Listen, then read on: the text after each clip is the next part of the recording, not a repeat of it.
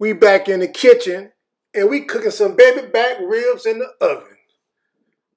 Baby back ribs in the oven because it's too hot out that dough to be on that grill. We're going to start off with some liquid smoke. That's going to give it that taste as if you was outside on that grill. Flip that over. Make sure you cover this with liquid smoke. You don't need that much, just a little. About that much right there. Now inside this peppercorn grinder, I got some allspice berries. You don't have to use that. You can season however you want, but this is the key. For me, that sweet and smoky rub. Make sure you get that nice and coated. All over them ribs. The sides, the back, the top, the bottom, all that.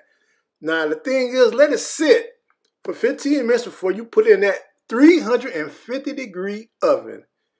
I'm using a cookie rack so we ain't gonna worry about it sitting in all that fat. Make sure you get that juice from out the bottom of that bowl and put it on top. In the oven it goes. One hour. This is what we working with.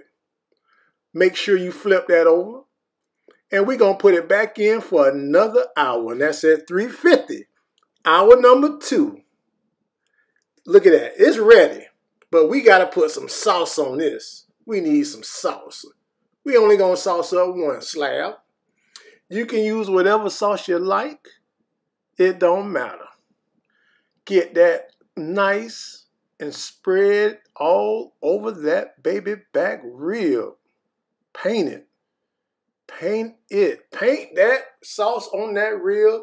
You want to put it on that broiler for about five to ten minutes at a low broil. And look at that. Look at that. Baby back ribs. And I'm inside. It's nice and cool in here. Subscribe, subscribe if you like what you see.